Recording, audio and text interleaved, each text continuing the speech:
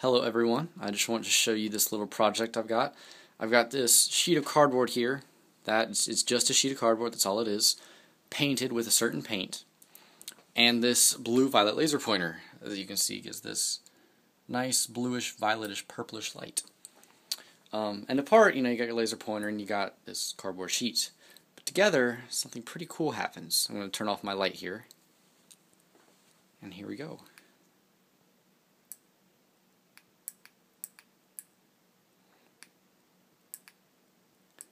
Now I know in the video it looks like it fades away really quickly and the super brightness does fade away pretty fast but it is still bright for a good time period after I draw it. I can still see everything I've drawn it just doesn't show up in the video because the video is only showing the absolute brightest light which occurs as soon as you do it.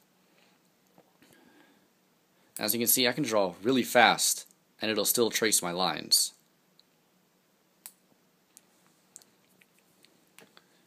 Now, I've also got a red laser pointer here, and as you can see, it does not do the same effect at all. There is absolutely no trail.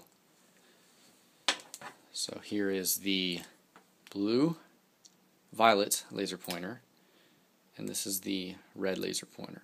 No effect.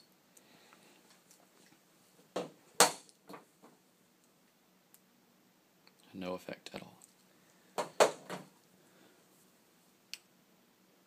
Now this is absolutely infinite amount of fun, infinite amounts of fun. I can entertain myself with hours to this.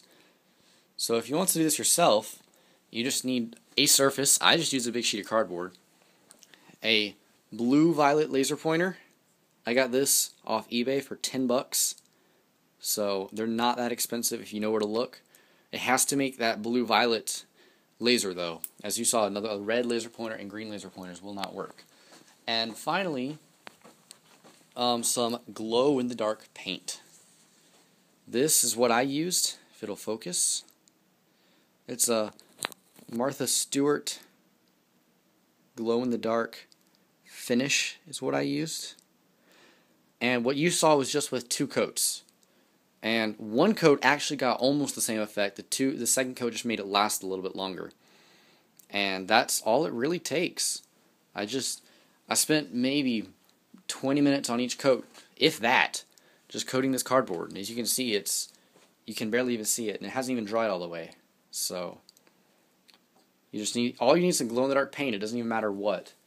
Just glow in the dark paint, a blue laser, blue violet laser pointer, and a surface to paint it on.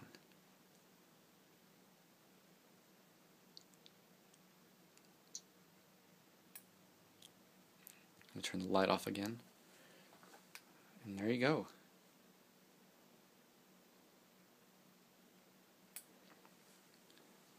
Later.